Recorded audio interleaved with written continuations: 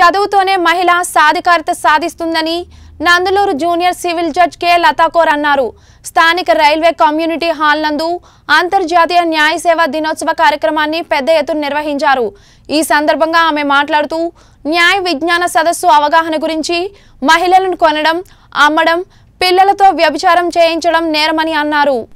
మహిళలను లైంగిక దోపిడీ మోసం మాయమాటలతో కానీ బెదిరించినా కానీ ఏదో రకంగా డబ్బులు ఆశ చూపించి వారిని అమ్మేయడం నేరమన్నారు. ఆర్టికల్ ట్వంటీ త్రీ వన్ ప్రకారం మానవ అక్రమ రవాణా వెట్టి చాకిరీ నిషేధించబడినదని అంతేకాకుండా ఇటువంటి వాటికి పాల్పడిన వారికి చట్ట ప్రకారం శిక్ష విధించబడుతుందని వివరించారు. మహిళలకు చిన్నపిల్లలకు ఉచిత న్యాయం లీగల్ సర్వీసెస్ కమిటీ అందుబాటులో ఉంటుందని పేర్కొన్నారు. అక్టోబర్ రెండు నుండి న్యాయ సేవ అవగాహన కల్పించామన్నారు. ఉచిత న్యాయం గురించి ప్రతి గ్రామంలో తెలియజేసే విధంగా అవగాహన కల్పించామన్నారు. న్యాయ సేవాధికారి సంస్థ ప్రవేశపెట్టిన పథకాల వివరాల గురించి వివరంగా ఆమె తెలియజేశారు సొసైటీకి నేటి రేపటి పౌరులు అనే మీకు తెలిసే ఉంటుంది. సో దాని ప్రకారం మీరు చదువు చెప్పడం వల్లనే గొప్ప సమాజం అనేది ఏర్పడుతుంది.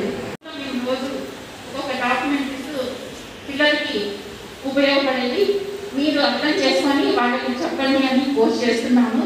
ఎందుకంటే మేము ప్రతి ఒక్కరికి వచ్చి ఎక్స్పెక్ట్ చేయలేము కాబట్టి మీరు కూడా ఒక రెస్పాన్సిబుల్ పర్సన్ సొసైటీలో కాబట్టి మీ ద్వారా అవేర్నెస్ కలుగుతుంది అనేది నల్సా యొక్క ముఖ్య ఉద్దేశము. అట్లా పోలీస్ వారిని దీనిలో వర్క్ చేశాము. లాయర్లు టీచర్స్ ఇంకా మెడికల్ డిపార్ట్మెంట్ తర్వాత లా స్టూడెంట్స్ ప్రతి ఒక్కరు బాధ్యత ఉన్న ప్రతి ఒక్కరు ఇక్కడ పార్ట్ అయ్యి మొత్తం ఇండిపెండెన్స్ వచ్చిన డెబ్బై ఐదు సంవత్సరాలకి మొత్తం ఈ ఆజాదీ అమృత్ మహోత్సవంలో ప్రతి ఒక్కరికి లిటరసీ అంటే ఎడ్యుకేట్ చేయాలి న్యాయపరంగా ఎడ్యుకేట్ చేయాలి అనే ముఖ్య యొక్క ముఖ్య ఉద్దేశము.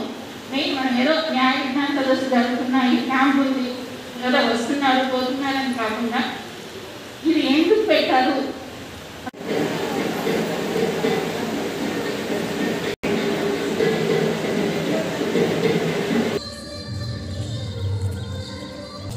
చూసుకోండి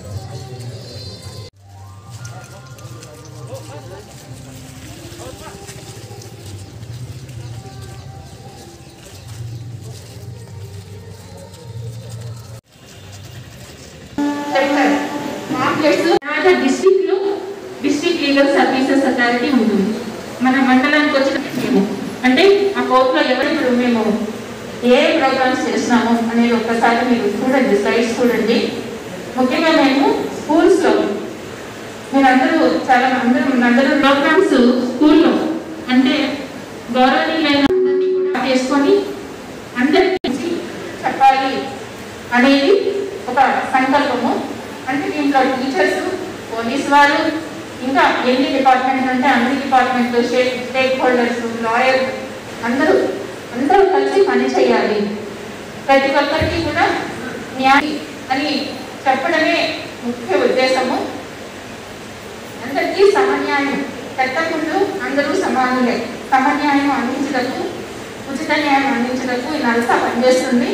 ఇప్పుడు మండల లీగల్ సర్వీసెస్ కమిటీ జాతీయ నేల సహాయక సంస్థ ఆదేశాల మేరకు మేము మూడు వందల డెబ్బై వర్చువల్ గాను ఫిజికల్ గాను అంటే ప్రతి విలేజ్లోనూ డోర్ టు డోర్ క్యాంపెయిన్స్ చేసాం ఈ మండల లీగల్ సర్వీసెస్ కమిటీలో పారాలీగల్ వాలంటీర్స్ ఉంటారు.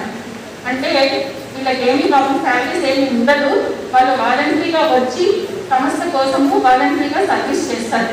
ఎవరికైనా ఏమైనా ఇబ్బందులు ఉంటే ఆ ఇబ్బందులు తెలుసుకొని మాకు చేరవేస్తారు సో మీరు పారాలీగల్ వాలంటీర్స్ ఎవరైనా రావచ్చు ఎవరైనా కూడా వర్క్ చేయొచ్చు.